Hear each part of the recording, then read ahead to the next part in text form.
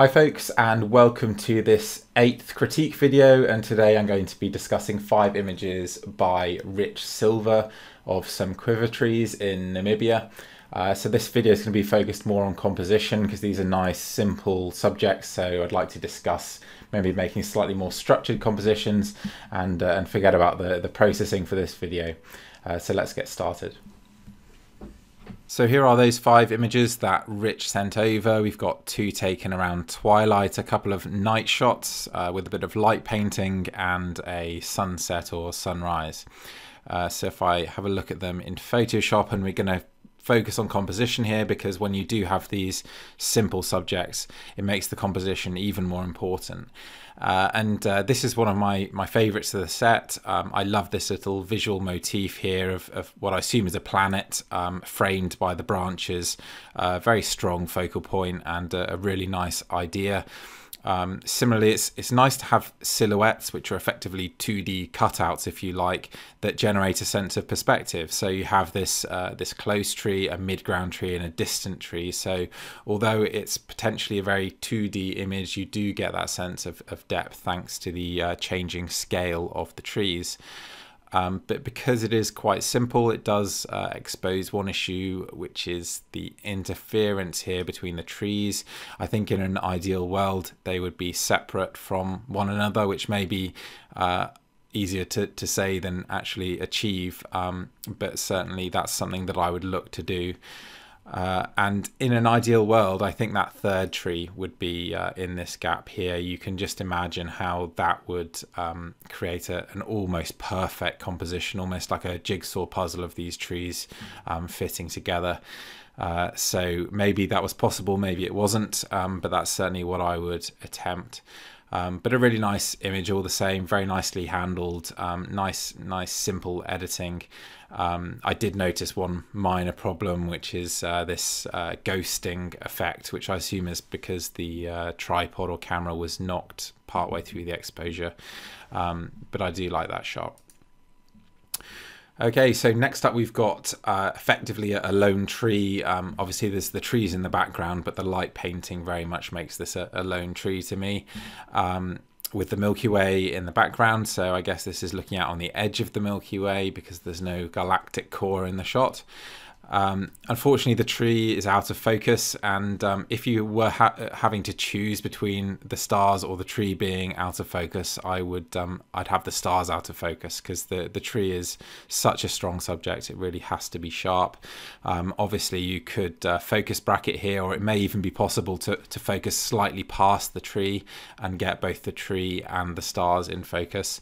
Um, so uh, one one for next time there. Uh, compositionally, um, I'm just going to draw quickly on the the two um, elements that we have here and you can see that they are mostly uh, balanced to the right hand side or at least cumulatively they are. Um, and the tree is actually only just slightly off center which I find um, slightly detracts uh, from the shot to be perfectly honest. Um, so you can actually fix that fairly simply just by cropping. Uh, so I'll do that quickly. Uh, where's my crop tool? There it is um, so I'm just going to bring down the top here as well because I think the uh, main interest is is this uh, band of stars on the right and then drag in that left hand side as well. So we are going for more of a rule of thirds composition um, and uh, that's not because I'm trying to achieve that it's just because in this case that that looks right to me um, and, and I think that does make the composition a bit stronger. And then if we move on to this third image, we've got these beautiful uh, trees again with the, the Milky Way running through the center of the image and the large Magellanic cloud here. Uh, technically, this, this looks pretty good. Um, a nice balance of, of the, the light painting there with the uh, exposure for the stars. Again, maybe slightly out of focus here, so um, that, that could be worked on, um, but otherwise very, very well shot. Um, I'd love to see three trees here. Uh, it's a bit of a, a, classic idea. I think I mentioned it in the last video that uh, threes are better than twos. Uh, and sometimes that's the case and sometimes it, it isn't. Um, certainly there's uh, there's a shot in, in a second um, which has just two trees that would work absolutely fine um, without a third tree. Um, but uh, in this case you've got two similarly sized trees and this sort of semi-symmetry um, but it doesn't doesn't quite work for me and I'd love to just have a third tree in the middle or, or have some significant difference between the two trees um, to create a sense of asymmetry um, because it just isn't quite there. Uh, and you do have this third tree sticking out the bottom there or if, is it a bush? I can't quite tell actually. Um, yeah another tree. And uh, that to me is uh, is distracting. In fact it, it looks like that might have been painted separately um, I probably would have just left that one unpainted uh, so that it catches the eye a little less.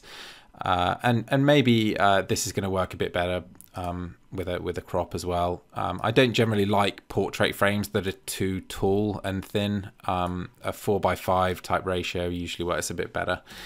Uh, so I'd probably crop something like that. Okay, so here are those two trees. So here we've got two, not three, although you could argue this silhouette in the background is that third tree, but um, two that are the clear focus, and uh, I think that compositionally that does work better. Um, I get the sense from the lean of both of these trees that the shot isn't quite level, so I would just uh, correct that. And again, I'm going to lose some of the top of the frame because I think the trees start to get a little bit lost. Um, so, so, something like that, and actually maybe I'd crop more like that, and then just uh, distort the sky or, or clone to uh, to fill in that um, that extra bit there. Um, I will just do that to the really quick and nasty way, uh, just for the sake of it.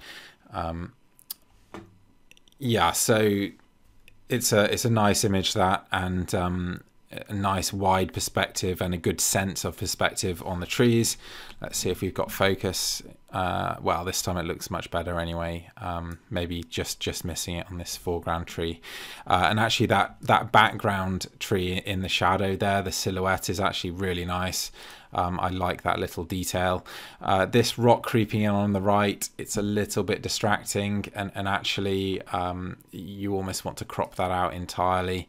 Um, you know, to do some something like that.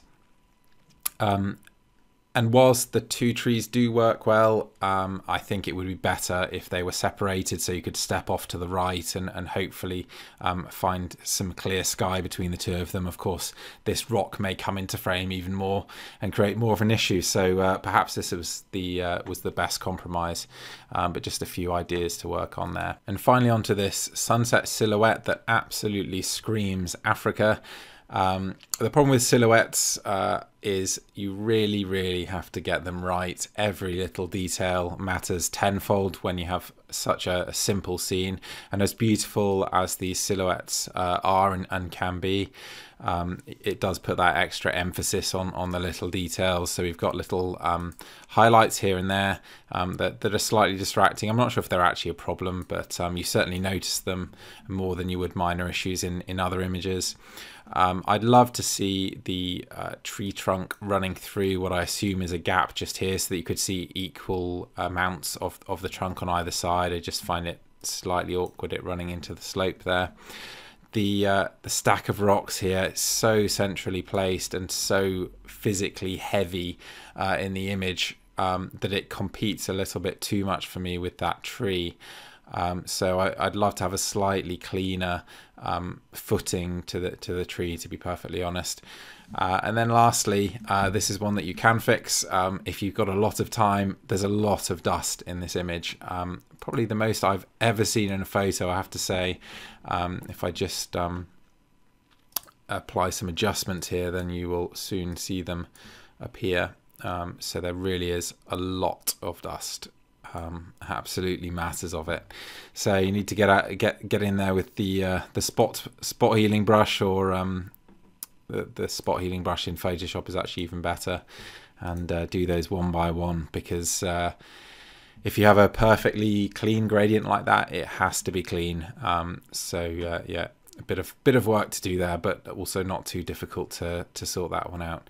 Um, so really brilliant subjects. Uh, difficult um, compositionally because although they are simple, all these little detail issues uh, matter all the more. So um, challenging actually to get these right, and I'm sure there was no uh, point at which you didn't have to make some form of compromise.